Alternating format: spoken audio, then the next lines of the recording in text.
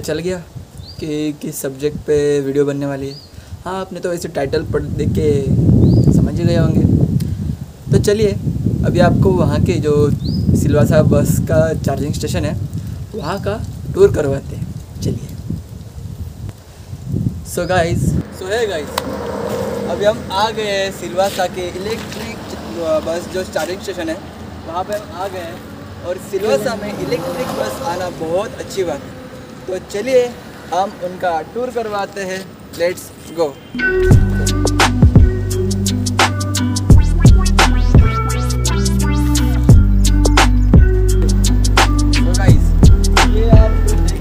Electronic बस ये दिखने में एक नॉर्मल सी बस है, जो डीजल और पेट्रोल जैसी आती है. क्योंकि नॉर्मल दिखने वाली बस है. और यहाँ पे देखो, सिलवासा स्मार्ट सिटी का लोगो लगा हुआ है. और यहाँ पे प्योर इलेक्ट्रिक लिखी है. इसमें मतलब कोई भी मतलब इलेक्ट्रॉनिक वैसा कोई सिस्टम है नहीं इलेक्ट्रिक है। और इसका पीछे है चार्जिंग पोर्ट जो यहाँ से चार्ज होता है। और यहाँ पे जो है टाइमिंग इसका तीन घंटे में फुल चार्ज हो जाती है। और उसके बाद में इसको यहाँ से जो सिलवासा का बस स्टेशन है, वहाँ पे ले जा, लेके जा, लेके जाते हैं सर्विस करने के लिए। और फिर पे सर्विस होने के बाद में फिर ये जो जो कस्टमर को ले ले जाया जाता था टूरिज़्म के लिए, या फिर ट्रैवल के लिए। उसके लिए लेके आप रेडी हो जाती है सो गाइस चलिए, आपको अभी टूर करवाते हैं कि सिलवासा जो इलेक्ट्रिक बस है उसके अंदर का। तो देखिए, अभी ये बस जो है, अभी अभी जस्ट आई है और इसको अभी चार्जिंग पे लगाया है। यहाँ पे देखिए चार्जिंग हो रही है। ये फिफ्टी थाउज़ेंड किलोमीटर चल चुकी है। और यहाँ पे आने के बाद में इसका स्ट्रक्चर देखिए, बहुत खूबसूरत है। और यहाँ पे जो सेफ्टी की बात है वो बहुत अच्छे तरीके से इन्होंने मेंटेन किया हुआ है। यहाँ पे फ़र्स्ट एड बॉक्स है आग बुझाने वाला फायर एक्सटिंग्विशर है।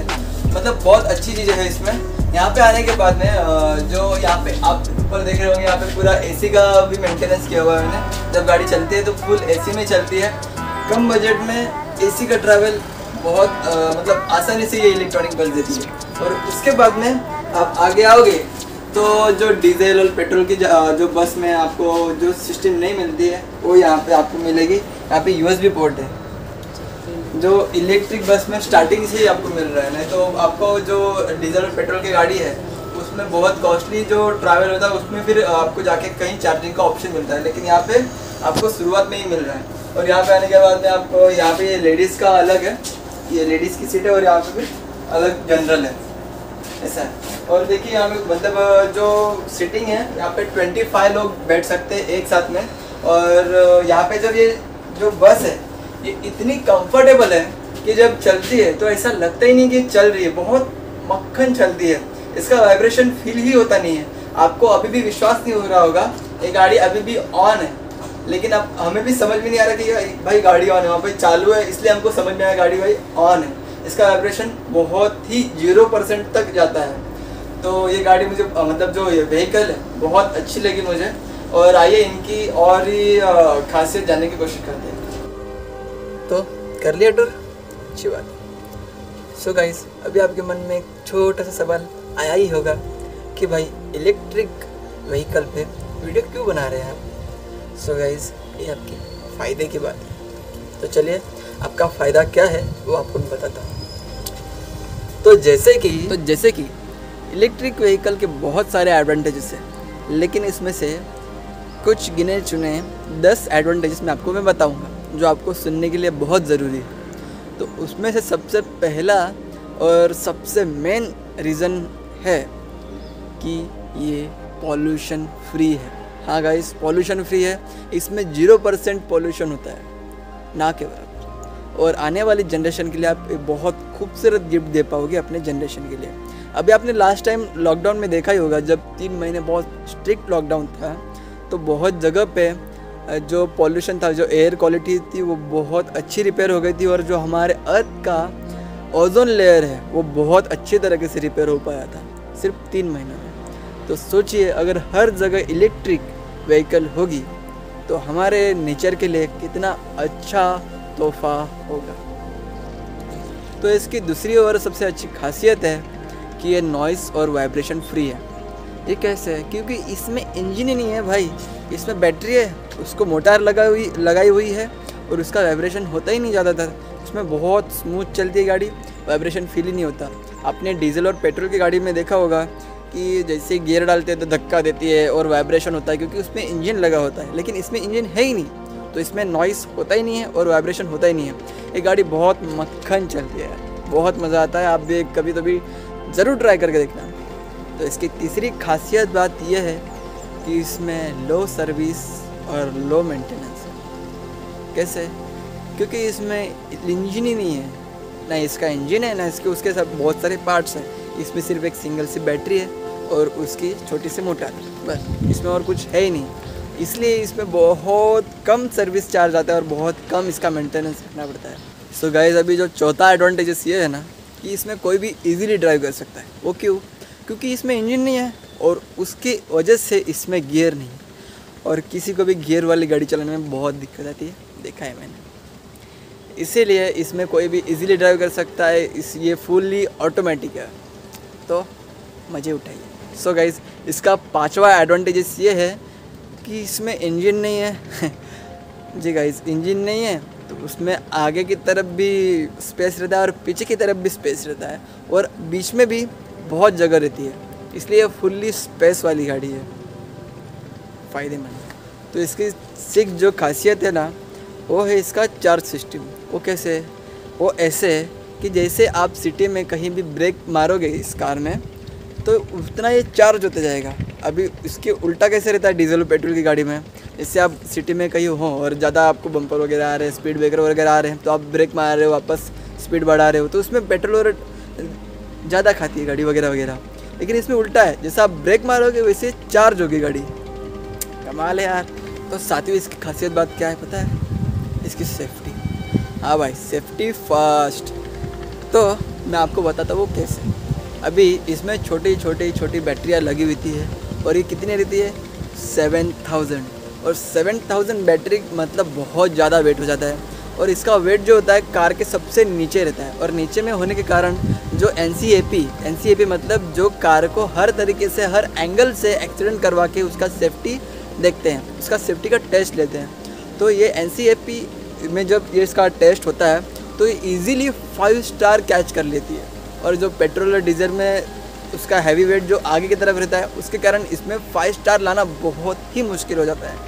तो गाइज़ ये सेफ्टी वाली कार है अपनी फैमिली के लिए आपके लिए। सो so, इसका आठवा अजवा आई मीन एडवांटेजेस वो ये है कि भाई आप पूछोगे इसमें खर्चा कितना होता है? सो so, भाई अगर आप पेट्रोल की गाड़ी यूज़ कर रहे हो और इलेक्ट्रिक व्हीकल अगर कोई यूज़ कर रहा है तो दोनों का एवरेज मंथली जो खर्चा निकाल के देखें तो पेट्रोल में six two seven thousand averagely खर्चा होता है, जो एवरेज में लोग यूज़ करते हैं। अगर इलेक्ट्रिक व्हीकल आप डेली यूज़ करें तो उसका खर्चा एक से दो हज़ार लाइट बिल आता है। सुबह ना, मुनाफे की बात ये हो गई मुनाफे की बात।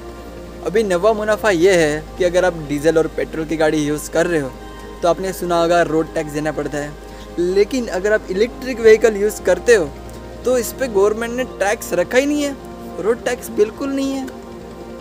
तो हो गया ना, मुनाफे की बात। तो ये नवीं बात मुनाफे की होगी बराबर? और दसवा मुनाफा सुनिए। अभी आपने रोड टैक्स नहीं दिया।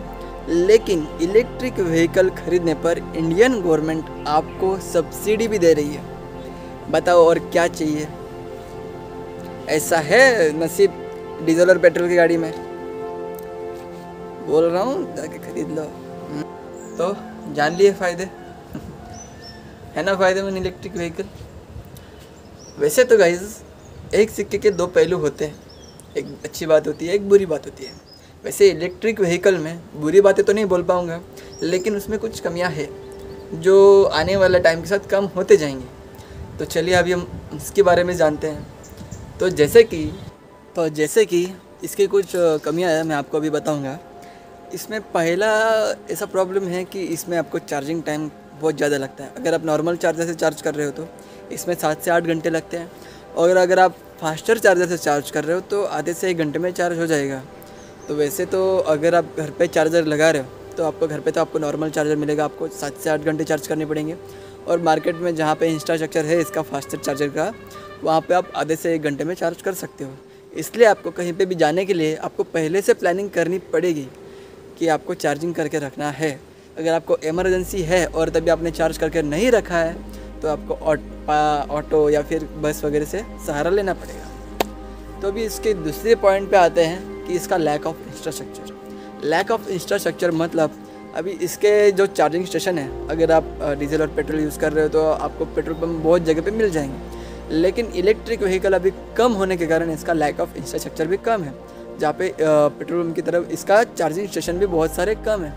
अभी मेट्रो सिटी जैसे मुंबई हो गया, दिल्ली हो गया, बेंगलोर, कलकत्ता, वहाँ पे आपके इसके आपको थोड़े फाइव परसेंट मिल जाएँगे। लेकिन हर जगह आपको अभी इसका चार्जिंग स्टेशन है, वो नहीं मिल रहे हैं।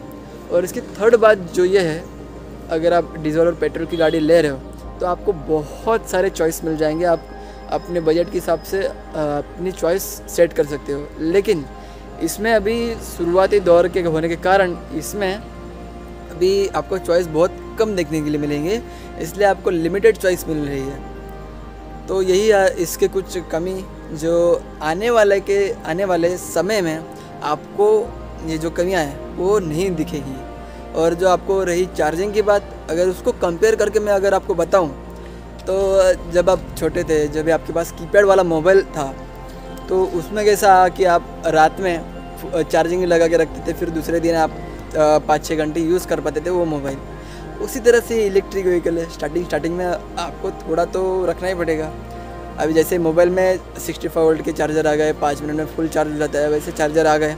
वैसे ही इलेक्ट्रिक व्हीकल में थोड़ा टाइम लगेगा, लेकिन इम्प्रूवमेंट होगी। और आने वाले 2025 तक टारगेट है कि इलेक्ट्रिक व्हीकल पेट्रोल और डीजल जो है, उनको टक्कर दे रही होंगी। तो यही कुछ थी, इसके कुछ कमियाँ। तो जान लिए, कुछ कमियाँ हैं इलेक्ट्रिक व्हीकल में। लगता है भाई इधर भाई इधर रहता ना लगता है। तो कोई बात नहीं, आने वाले समय के साथ इम्प्रूव हो जाएगी। तो ऐसी और कुछ बातें हैं जो आपके जानने की बहुत ज़रूरी है। तो आइए, जानते हैं। तो दोस्तों, पहली जो जानने लायक बात यह है कि जो इलेक्ट्रिक व्हीकल होती है, उसमें लिथियम आयन यूज़ हो जाता है। अपने जो मोबाइल और लैपटॉप जो रहते हैं ना, उसमें लिथियम आयन यूज़ हो जाता है उसके बैटरी में। तो लिथियम आयन इंडिया में तो मिलता नहीं है, बहुत रेयर मिलता है। उसको चिलिया पोर्तुगीज़ या फिर चाइना से इम्पोर्ट कर सकते हैं। जो अपनी यूथ आइकन है इलन मस्क वो उनका प्लान जो है टेस्ला का, वो चाइना में भी है। क्योंकि वहाँ पे चाइना में लिथियम आयन का बहुत ज़्यादा मात्रा है। और फिर उन्होंने ऐसा प्लान किया कि इंडिया में भी उसका प्लान लॉन्च करेंगे टेस्ला को लॉन्च करेंगे। तो अभी टेस्ला अगर आएगी तो फिर चाइना से आएगी। हाँ तो फिर इंडियन गवर्नमेंट ने यहाँ पे दिमाग चलाया है कि जो अगर कोई बाहर से इम्पोर्ट एक्सपोर्ट कर रहा है तो उसके ऊपर टैक्सेस बहुत ज़्यादा बढ़ा दिए।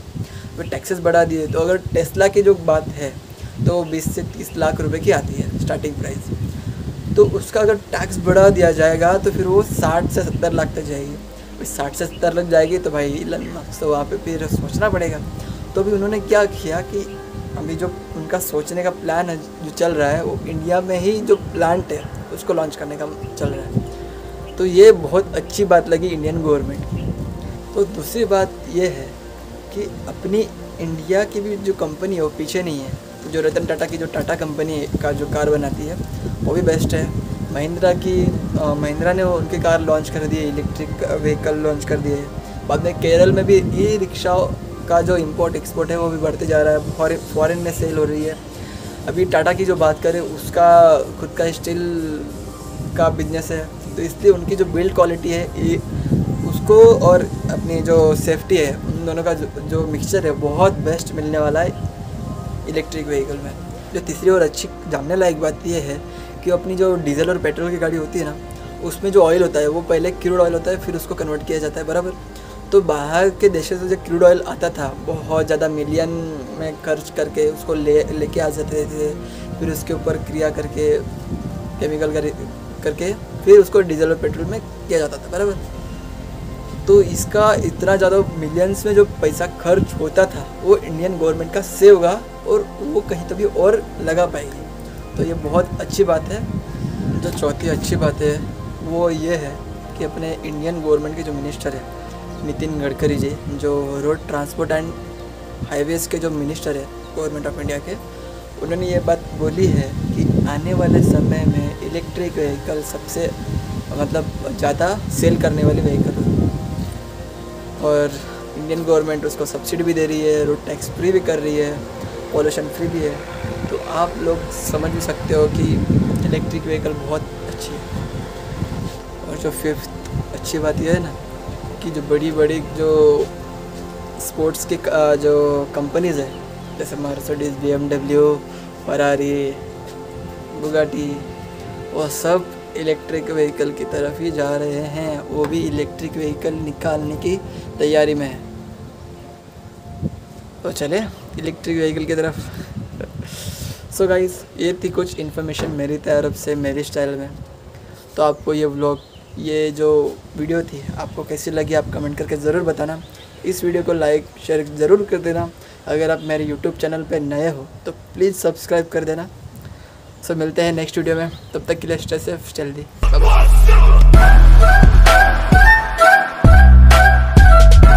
इलेक्ट्रिक व्हीकल में क्या है पता है? Road tax government гормон сахисны